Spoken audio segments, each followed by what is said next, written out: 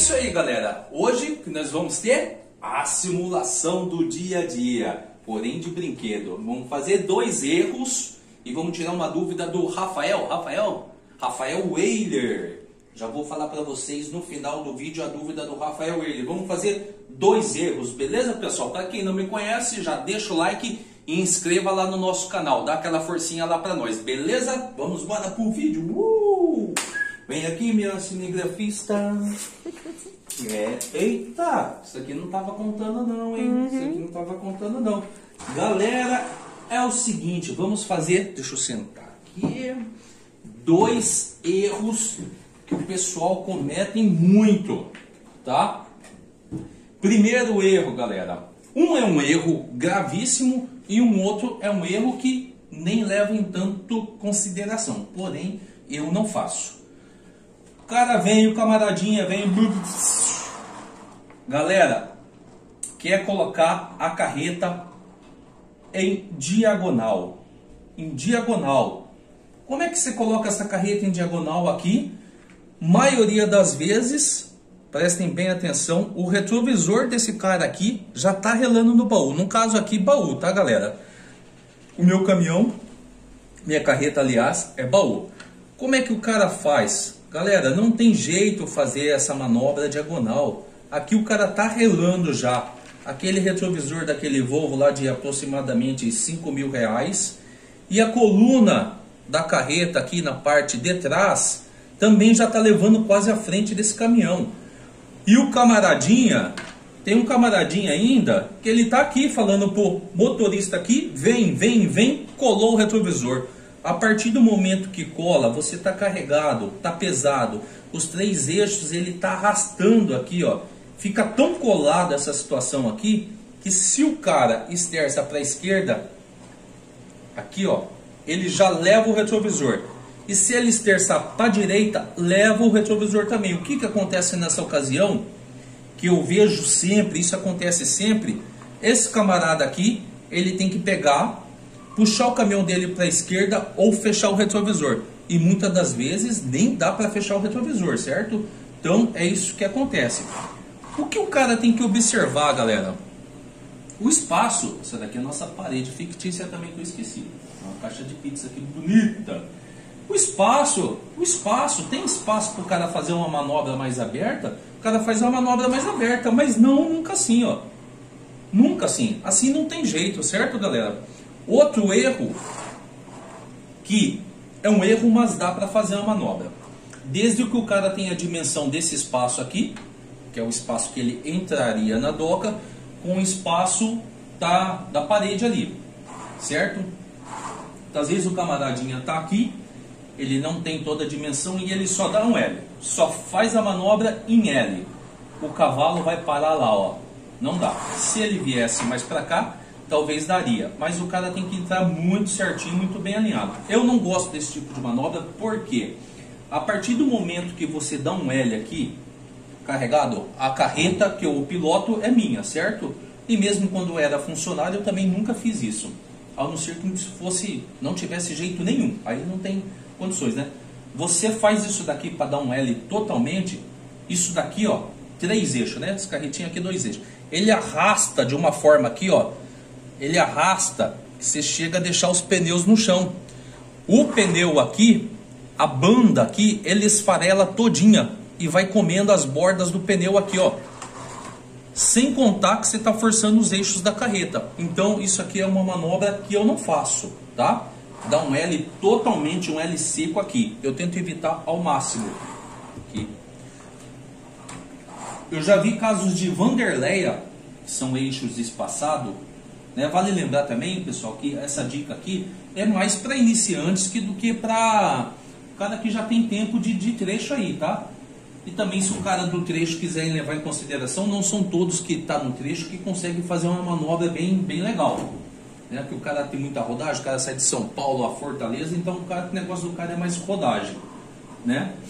Já teve casos de eu ver eixo espaçado, Vanderleia, o cara fazer uma manobra dessa daqui num L bem forte mesmo, chegar o baú quase relar aqui na coluna do cavalo, que, que acontece com a Vanderleia? Ela faz assim, ó. E aqui descolar os pneus. Já teve caso de descolar o pneu. Pneu sair fora da roda, ok? Agora eu vou falar para vocês o jeito que eu faço, o jeito que eu aprendi. Certo, galera? Primeiro, o cara vai chegar, vai ver lá o depósito que ele vai descarregar, vai ter uma noção do espaço. O que, que eu faço? Eu venho aqui, vou lá, galera, ó, e faço essa manobra aberta, aberta, o mais aberto possível para evitar desgaste no pneu, evitar que você está forçando o seu eixo da carreta, né? Mesmo do cavalo também, força um pouquinho, o pneu gasta também. Quando não é trocado, pior ainda. Então eu faço o que? A manobra sempre aberta, ó. A coluna da carreta sempre mais próximo, não tão próximo, né, galera? Só entenda bem. Mais próximo ali da parede. Então sempre aberta, até no carrinho aqui, na, na carretinha de brinquedo, dá pra gente ter noção como ela se comportaria. Você pode ver que já entra mais aberto, ó. Entrou mais aberto, se o cara tiver um pouquinho para lá, não tiver tão alinhado aqui, ainda ele tem um espaço de pegar e fazer a cobrinha aqui que eu digo aqui, certo? Tanto para a direita quanto para a esquerda. Beleza? Então, o que eu faço? E já tirando também, estava me esquecendo a, a dúvida do Rafael Weiler. Ele perguntou num vídeo que eu fiz que eu teria que ter filmado, coloquei numa faixa demarcada, né, uma, uma suposição de uma faixa demarcada de um vídeo que eu fiz, e ele falou que eu teria que ter filmado o quando o cavalo voltaria num alinhamento com a carreta, que eu não filmei totalmente o cavalo. O que eu falo para o Rafael é o seguinte: com a prática, com muito tempo que você vai fazer, começar a fazer manobra, manobra, isso daqui depois você vai tirar de letra. Mas no início, o que, que o cara tem que ter? A percepção, vamos fazer aqui, a percepção, o, né? Cara vai começar a memorizar na, no inconsciente dele quando os eixos está entrando na sua faixa demarcada aqui, automaticamente a cabeça do cara vai, ela já vai se, como é que fala, domesticar? Seria essa palavra? Ou não? É isso não? Domesticar que o cara vai ter que voltar o cavalo aqui. Venha daqui, daqui, daqui, daqui. Daqui, daqui, daqui. O cara vai voltar o cavalo aqui. Então, ó, assim que ele fizer a manobra aberta, ele vai observando. Tem uma faixa, esquece, uma faixa demarcada aqui, né? maioria das vezes não tem a faixa, só tem aqui um pedacinho da doca. Então aquela linha imaginária que ele está imaginando, ele está vendo que está entrando, está vendo que está entrando ele vai voltando o cavalo, ó. Ele vai voltando o cavalo. Então não tem, ele perguntou se tem segredo. Não tem muito segredo. Isso daqui é no dia a dia que você vai estar bem apto a fazer uma manobra dessa daqui. Entendeu? Então não tem segredo. O que vai mandar aqui é o dia a dia do cara mesmo. Daqui a pouco o cara tá fera nisso daqui, com certeza. E paciência, tá? Se não conseguiu na primeira vez, é, copie o colega que fez lá bem feito. Se não conseguir da terceira, vai fazendo, paciência. Chegou. Outra coisa, Rafael.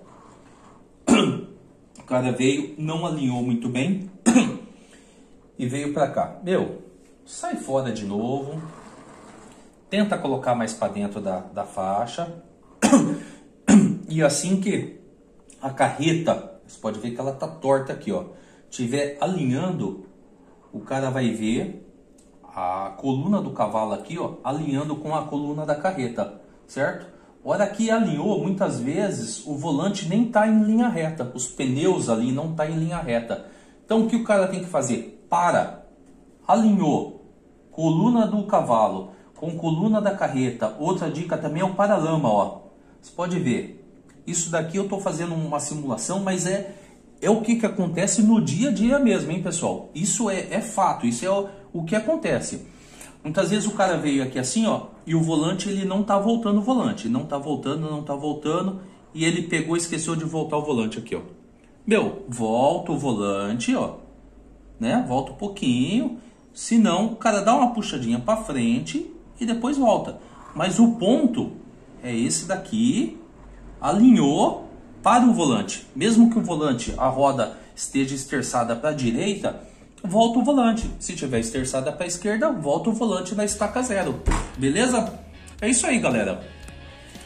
Para quem gostou desse vídeo, quer deixar alguma dúvida, algum comentário, pode colocar aí nos comentários e que eu vou tentar tirar a dúvida de vocês, beleza? Um abraço, fica com Deus e não esqueça de deixar aquele like lá. Fui!